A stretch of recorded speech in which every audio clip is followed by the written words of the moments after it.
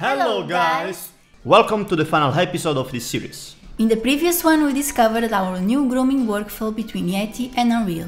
We are now ready to work on the look of the fur with our new shader and later show you how we set up the motion capture system for the animation of the face.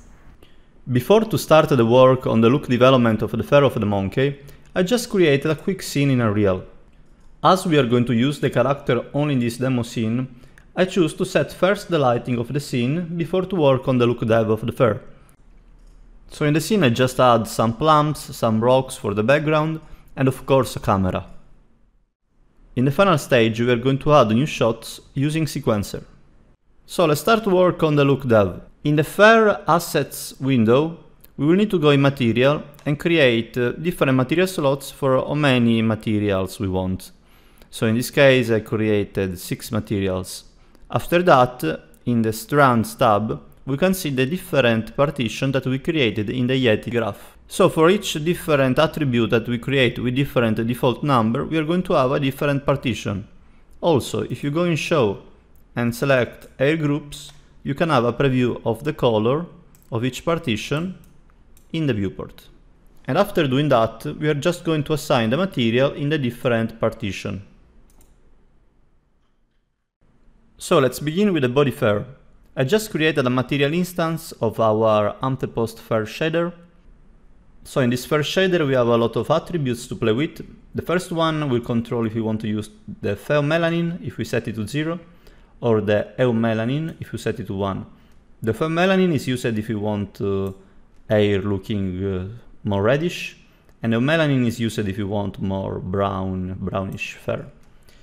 So if for example we set to 1, we are using the melanin now, and we can of course tweak it and uh, set it like to another value to have a darker color. And if we set it to a lighter value, we are going to have like blonde and then of course white. After this, you have control also in the desaturation of the color and as well in the brightness. If we check use root color, we are going to be able to color the base of the fur. So in this case, we set a black color and here we can choose the position where the black color starts. And here you can choose as well the contrast. After we can use the root color blend to blend it with the original color, if you want a more softer effect. Use top color does the same, but uh, in the opposite direction, so in the tip. So here we have white. And of course we can set it to the point. And here we can play a bit with the contrast, if you want more a softer transition or, or an harsher effect. And then we can also blend it as well with the original color. Variation melanin is going to give variation to each single hair color. So if, for example, we push it, here we can choose, for example, the a different color. So in this case, we want to use the eumelanin. And here let's choose a like a darker color. Let's set it to one. And here we can choose the variation amount. So if we want more like this darker hair color. So if we push it more, we can see that all the fur is getting darker and only few hair are keeping the original color. So let's set a lower value. And use extra hair is just another layer of this uh, single hair variation, but uh, with uh, fewer attributes. So it's better suited for just darker or brighter color. So in this case, we want like, uh, for example, white hair. And here we can choose the amount. So in this case, we're going to have few white hair. And if we push it, we're going to have more white hair. Nice. Then we can control, of course, the specular, the roughness. And if we activate melanin mask B, we will be able to assign a texture to create another area with different color in uh, one partition. So in this case, we're going to create another section with this uh, brownish color and another one with white hair here, using always one partition. So here I just painted a texture painting white in the area where I want a different color. And I'm going to drop it here in the mask B section. I'm going also to invert the mask as I want uh, this brownish color to be in the opposite side. So now tweaking these parameters, we have the power to affect only this area. So we are changing a bit the brightness here as the fur is uh, white. And probably we can also add some soft root color So I'm going to add a bit of more contrast to see the effects and tweak its position. And after that I want to blend it with the original color to have a more softer effects. So we can do the same here for the top color. And again, uh, we play a bit with the position and the contrast of the transition. And here we blend it all together. And I want to add also some uh, extra hair. So in this case I want uh, brighter hair. So let's push the amount of this hair. And also let's change their brightness. I think now it's looking great and we are ready to move on on the other partition. So now I just duplicate that material instance, remove the mask of the brown area and apply it one to the mohawk, another instance to the hair in the face, to the peach fuzz, and also a material instance for the whiskers and the eyebrows hair. So let's do a quick overview of the motion capture setup for the face. So here in Maya we are using this nice plugin for the blend shape that it's called Shapes. Here we are able to just create a new blend shape and then just check it moving the slider. So we create a different blend shape following the ARKit system of Apple. And it's really important that the blend shape name is exactly the same of the one of the documentation. If not, Unreal is not going to read it correctly. When I exported the model and the skeleton as FBX, I make sure that the formed models, so skins and blend shape, were checked on.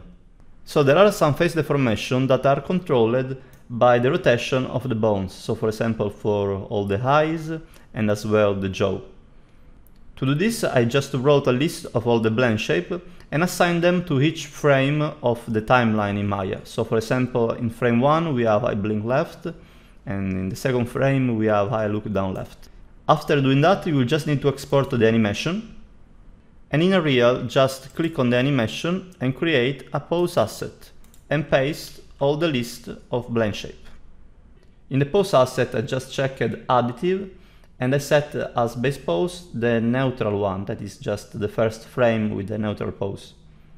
After doing that, we can check that each one of the blend shape are working correctly. The animation blueprint of the monkey is quite simple. At the beginning we have the live link pose needed to connect the iPhone motion capture to the blueprint. Then we have the pose asset that we created before from the, the animation. As the neutral pose of the model has the jaw open, I had a transform modify bone to add an additional rotation to the jaw and close it. These two transform modify bone are going to take the head rotation from the motion capture and add it in the animation of the character. Before to try the motion capture setup, we will need to bind the groom to the model. To do that, just select the groom and uh, click on create binding and select the target skeletal mesh. You're going to find here a groom binding asset and in the groom component in the blueprint we are going to assign it to the binding asset. I also enable simulation for the partition of the hair. As the fur is long here, would be nice to have some physics on it. And after the setup is done, we can animate our little monkey by just using the iPhone camera.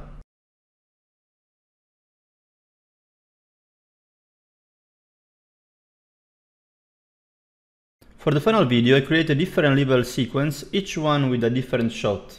In the final sequence I just had fun playing with the different shots and cutting them, merging them together. And after I just recorded the animation in the sequence using the iPhone. And here is the final video of the Tamarin Monkey. We are really happy about it. We are also amazed by this new workflow to develop a grooming work in Yeti and visualize it in Unreal 5 so quickly.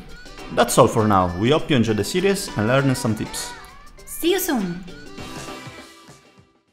Do you want to know more about grooming? Check our new course. This course will start from the basics of grooming and dive in in more advanced techniques giving you the right tools to build your portfolio and start your career as grooming artist. We joined lots of cool projects during this year, from big blockbuster movies to TV commercial, where we develop a solid workflow that is easily adaptable to different kind of grooms. In the chapter 1, we'll focus on the basics of Yeti, introducing the tools and techniques we'll need to build amazing grooms. In the chapter 2, we'll groom a realistic animal fur and dive in in the grooming workflow we use in our professional works. You will get everything you need for the course, including models and lighting sim. Also, you will have access to a private channel in our Discord Antepost Lab, where you can share your work and get feedback from us. So, let's get started! We can't wait to share our experience with you and dive in in the magic world of grooming.